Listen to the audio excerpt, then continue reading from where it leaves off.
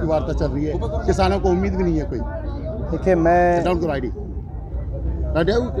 भगवान से हम यही प्रार्थना करते हैं हमने सबने मिलकर यही प्रार्थना करी इस धरने पे कि सरकार को सद्बुद्धि दे। सरकार किसानों की बातों को माने अपनी प्रजा की बात माने अब जिद छोड़े।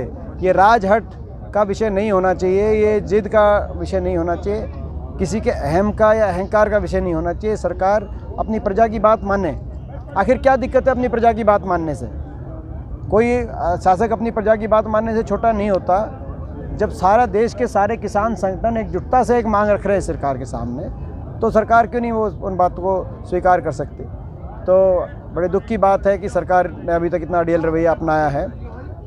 ये भी सरकार समझे कि देश का किसान किस भावना से इससे जुड़ा हुआ इस आंदोलन से? धर्म, जाति, क्षेत्र, भाषा, प्रदेश, सारे बंधनों को तोड़ता हुआ देश का किसान एकजुटता से अपनी मांग रख रहा है, इस आंदोलन से जुड़ा है।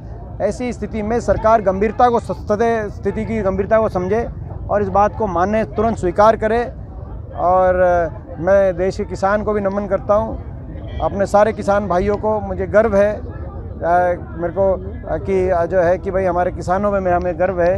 एक किसान के बेटे के रूप में मेरे को गर्व है कि इतने अनुशासन और अहिंसा के रास्ते पे ये इतना बड़ा आंदोलन जो जिसने विश्व स्तर पर इस आंदोलन की की गूंज पहुँची है तो ऐसा आंदोलन जो है खड़ा हुआ है ये एक बहुत बड़े ये छब्बीस तारीख को किसान जो कृषि मंत्री कहते हैं दो तीन राज्यों के किसान इसमें आंदोलित हैं। इसमें जो ये कह रहा है कि खालिस्तानी है कोई कह रहा है माओवादी है कोई कह रहा है बीजेपी के जो कुछ लोग कोई कह रहा है कि भाई हरियाणा पंजाब के ही हैं कोई कह रहा है कांग्रेस के ही हैं वो अपनी आँखों की पट्टी जो बाँध रखी है उसको खोलें।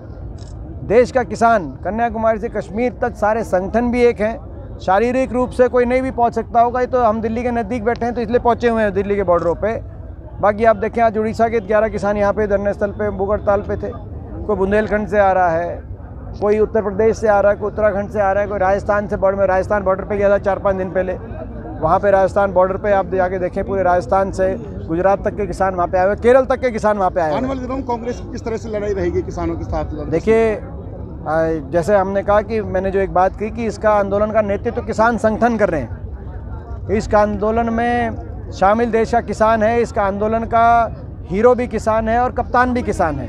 कांग्रेस पार्टी एक जिम्मेदार विपक्ष की तरह हम किसान के आंदोलन को पूरी तरीके से समर्थन कर रहे हैं, पूरा तरीके से सहयोग कर रहे हैं। क्योंकि किसान आंदोलन ने शुरू में एक बात कही थी कि आप इस आंदोलन में जो है अगर राजनीतिक लोग इसके नेतृत्व में आएँगे तो सरकार को एक मौका मिलेगा ये कहने का कि ये आंदोलन का नेतृत्व तो राजनीतिक लोग कर रहे हैं। इसीलिए ये बड़ा उन्होंने एक सम सूझबूझ के साथ जो बात इन्होंने कही थी इसका हम सम्मान करते हैं। तो हमारा पूरा साथ और समर्थन और सहयोग पूरी तरीके पूरी तरीके से रहेगा और इस किसान और हम अंत तक सड़क से लेकर संसद तक जहाँ तक जितनी हो सकेगी किसान के साथ और समर्थन में कंधे से कंधा मिला के हम किसान के साथ हैं। विधायक बलराज कुंडू बार बार आपका नाम लेकर के कह रहे हैं कि कल केवल दीपेंद्र जी सोशल मीडिया तक सीमित हैं फ़ोटो खिंचा करके किसान आंदोलन पे और मैं समझता हूँ कोई कोई बात उनकी जो मेरे को कोई गंभीरता लेने की ज़रूरत छब्बीस जनवरी की जो तिरंगा यात्रा है दिल्ली कूच की उसको हाँ। लेकर के क्या तैयारियाँ की जा रही है देखिए हैं? 26 जनवरी को मैंने जैसे कहा कि एक किसान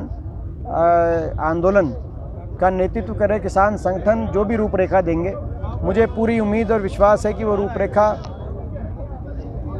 अनुशासित और एक शांतिपूर्ण, एक प्रदर्शन की एक रूपरेखा आएगी। और उस तरीके के अनुशासित और शांति प्रदर्शन में हम हमारा पूरा साथ और सहयोग है। मैंने अपने किसान भाइयों से आज यहाँ पे एक किसान का बेटे होने के नाते एक अपील भी करी कि आज तक ये आंदोलन कामयाब इसीलिए हुआ है कि ये अनुशासित है, शांतिपूर्ण है और गैर राजनीतिक है। हमें ये बातें समझनी चाहिए इन तीन सिद्धांतों पे आंदोलन को रखना चाहिए। 26 जनवरी को भी हम अपनी पूरा साथ दें पूरा सहयोग करें लेकिन उसके साथ इस बात का ध्यान रखें कि अनुशासित और शांतिपूर्ण जो प्रदर्शन के दायरे में हमें जो है अपना 26 जनवरी को अपना साथ और सहयोग देना है। दीपेंद्र जी इस आंदोलन का अंत सुप्रीम कोर्ट के ज़रिए होना चाहिए या सुप्रीम कोर्ट ने जो कमेटी बनाई है उस कमेटी पे दुर्भाग्यपूर्ण वो कमेटी में जो सदस्य लिए गए उन सदस्यों की पहले ही बातें आ चुकी हैं कि उन्होंने क्या कहा है। तो उसके बाद देश का विश्वास उस कमेटी के सदस्यों पर नहीं जब बैठ पा हम तो सारे जब से आंदोलन जब से शुरू हुआ है तब से लेकर आज तक। हर रोज कमेटी के बारे में बताइए आप। हर रोज ही हम कहीं ना कहीं प्रदेश के किसी न किसी कोने में किसी न किसी धरने पे हम लोग एक जो जैसे मैंने कहा कि भाई मैं एक किसान के बेटे के रूप में भी देश के एक जिम्मेदार नागरिक के रूप में भी और देश प्रदेश में एकमात्र विपक्ष के सांसद होने के नाते भी आपको पता है हमारे प्रदेश में चौदह बीजेपी के सांसद हैं। विपक्ष में अकेला एक संसद में। मेरे को जो विपक्षी सांसद, मैं एक अकेला विपक्षी सांसद हूँ तो उस नाते भी